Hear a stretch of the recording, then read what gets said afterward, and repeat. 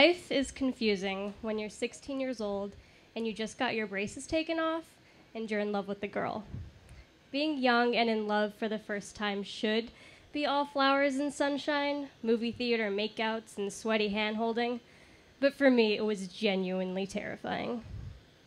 Most teenagers have someone to go to when they need a little advice and direction, but I didn't have that privilege.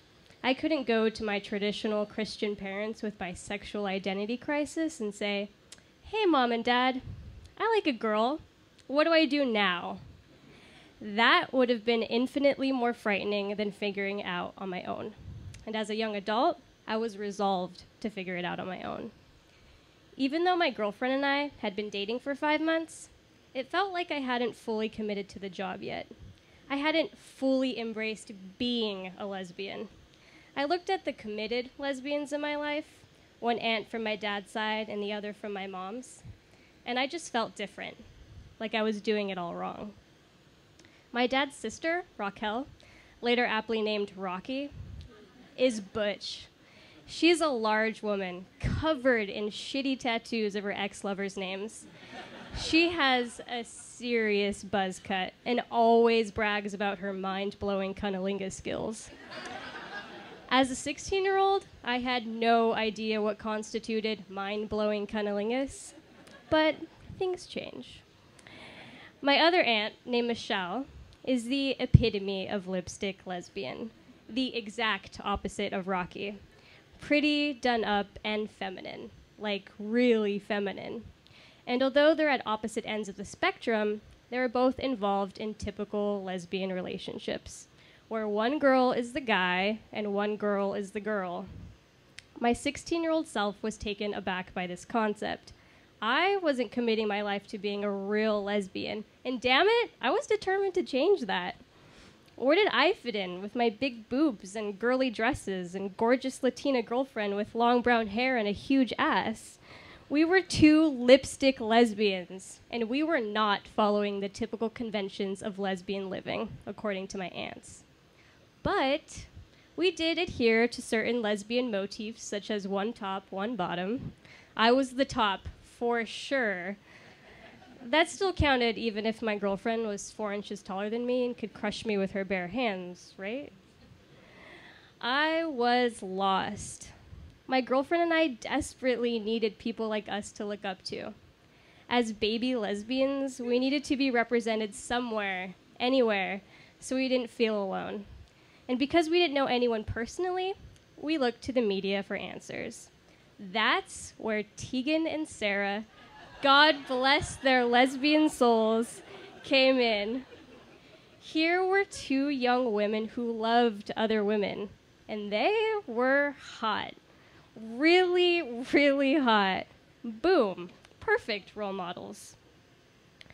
My love for Tegan and Sara was at an all time high in the summer of 2007. I owned every album ever made and knew the lyrics to every obscure song they regretted writing in high school. I loved them with a burning passion. I devoured every live version of So Jealous YouTube had to offer, ensnared by the intensity of their voices and chiseled jawlines anytime Walking with the Ghost played on the radio, you could bet your ass I was blasting it for all to hear. I had no shame. I knew these girls, like old friends separated by distance but never by heart.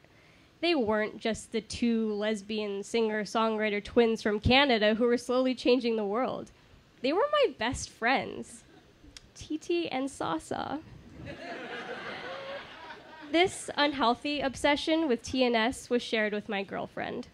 It was actually more of a competition based on who could buy the most albums and know the most personal facts, more than it was a sweet little hobby we shared. It was like the more we knew about Tegan and Sara, the more we acquired lesbian powers. And I wanted to have all the lesbian powers. I wanted to be the fucking Dumbledore of lesbianism. But alas, my queer magic was weak and my girlfriend was strengthening her lesbian powers by the second with her high top vans, rainbow socks, and recent discovery of the Indigo Girls. I had to do something to get my identity straight. I mean, gay. But unfortunately, I was all out of ideas. That is, until I decided to turn once more to the two patron saints of cunnilingus, the beloved Tegan and Sara. One look at them, and I knew. I knew what I had to do. I saw it on top of Tegan's head like a shining halo, like divine intervention in the form of a fashionable mullet. Her hair was the answer to all of my troubles. If my girlfriend wasn't going to be my boyfriend, I was going to be my girlfriend's boyfriend. This was going to be the thing that got me all the lesbian kudos. I printed out a Google photo of Tegan's glorious mane that very day, which could only be described by me as perfection and described by my mother as please God no. my hair was so long at the time, running down the middle of my back, wavy and absolutely gorgeous. It was the envy of every girl in my class, but it had to go.